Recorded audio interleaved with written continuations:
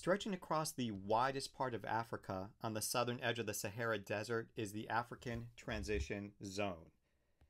This zone is also known as the Sahel, which means border or margin, and includes countries such as Mauritania, Mali, Niger, Chad, Sudan, Ethiopia, and Somalia.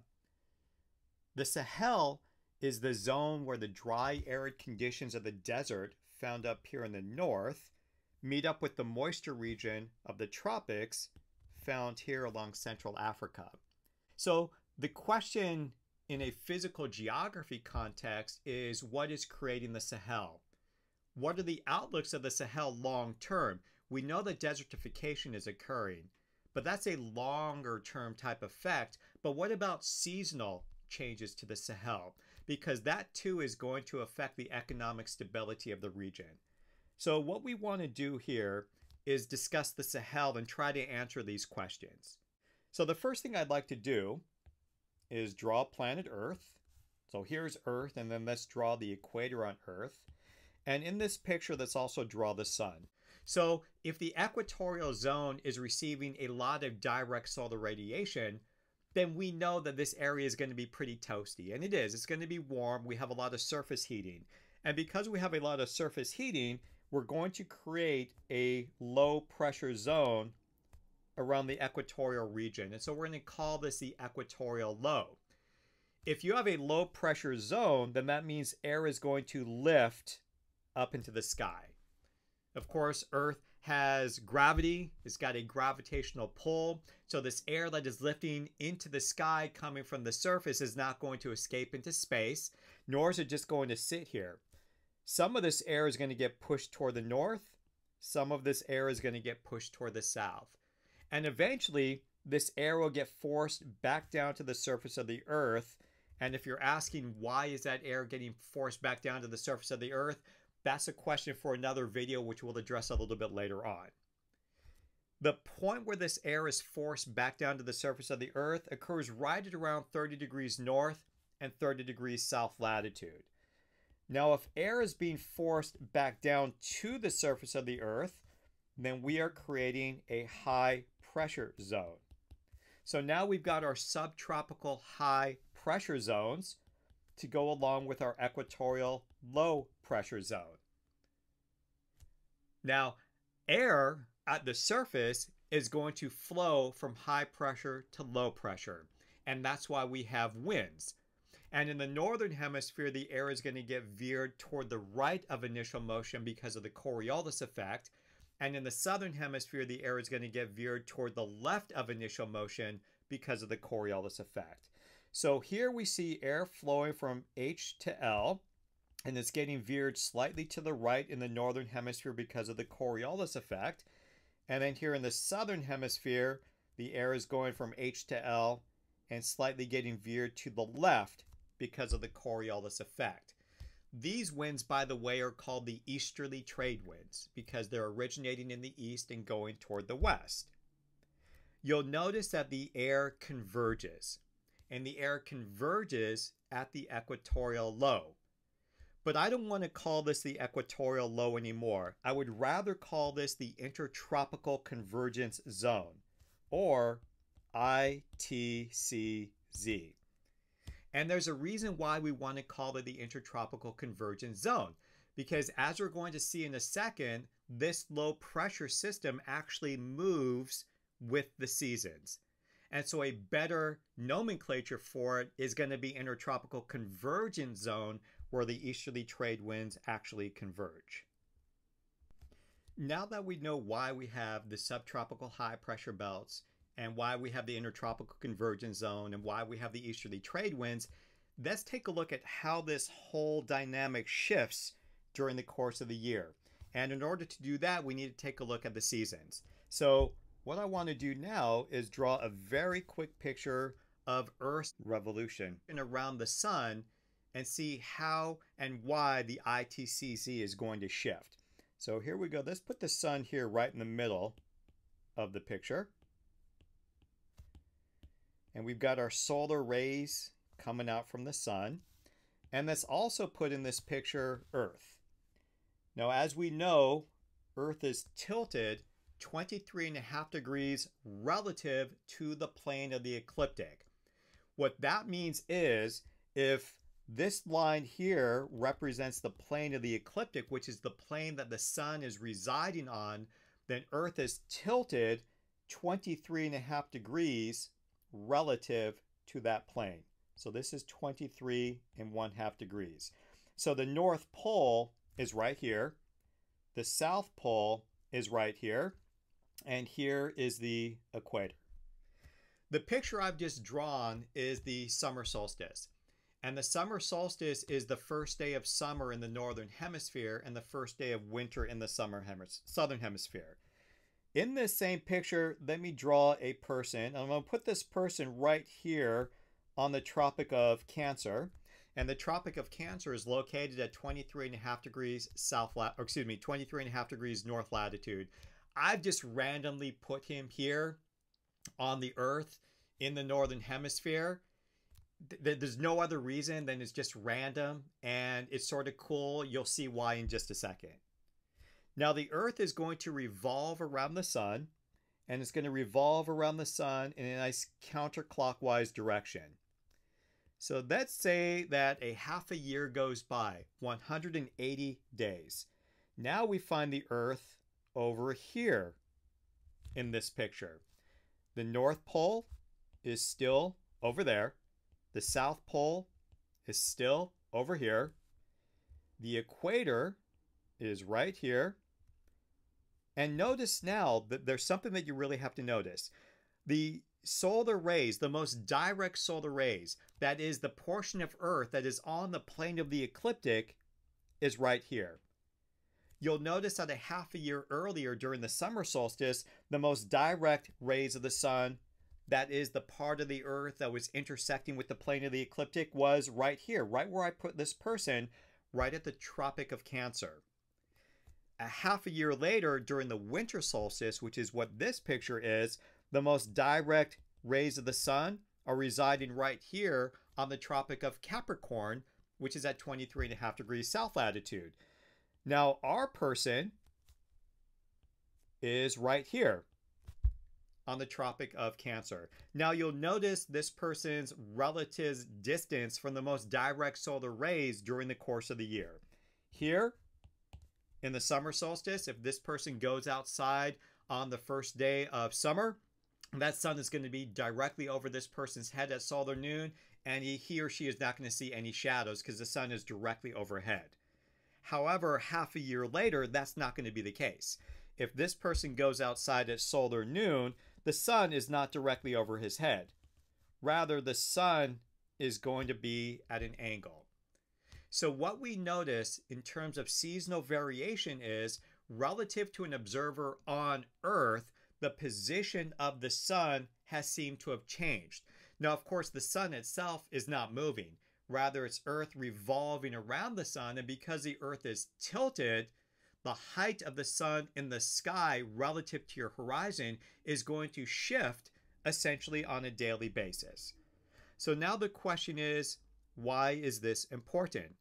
Well, you'll recall in our conversation just a moment ago, we said that the equatorial low pressure zone was due to the fact that the solar rays were hitting on top of the equatorial region. And in fact, let's go back to that picture. We take a look at this picture here, and you'll notice this is an equinox. This is the vernal equinox or the autumnal equinox, where the vernal equinox represents the first day of spring and the autumnal equinox represents the first day of fall. If we put our person here in this picture, standing, well, I put him on 30 degrees north latitude. I meant to put him here right in the Tropic of Cancer at 23 and a half degrees um, north latitude. This person goes outside at solar noon the sun is not directly over that person's head. Rather, if you're standing on the equator, that would be the case. So, again, what we're noticing is we have this seasonal shift of where the most direct sun is based upon the season. And what we're also going to notice is that this low pressure zone, which we don't want to call the equatorial low, but rather we want to call the ITCZ or the intertropical convergence zone, this low pressure also has to migrate with the moving sun because that low pressure zone is directly related to the moving sun. So let's go back to this picture. Here, we notice that the low pressure zone of the ITCZ has shifted northbound. And here, the low pressure zone of the ITCZ has shifted southbound. So let's go back to this picture. And let's erase this board. And let's draw the Earth again. So here is our equator. And we know that during the vernal or the autumnal equinox, the low pressure zone of the ITCZ is going to be right there pretty close to the equator. Our subtropical high is going to be right here, right at around 30 degrees north latitude.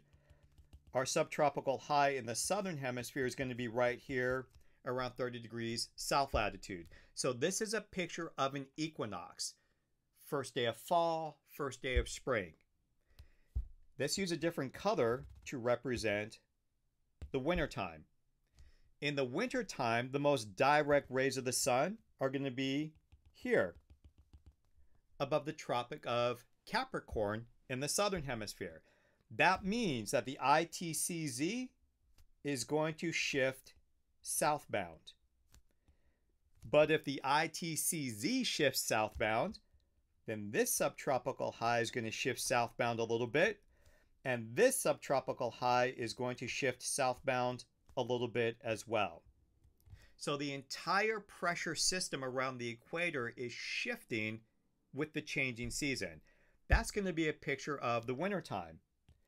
Let's put in here a picture of the summertime.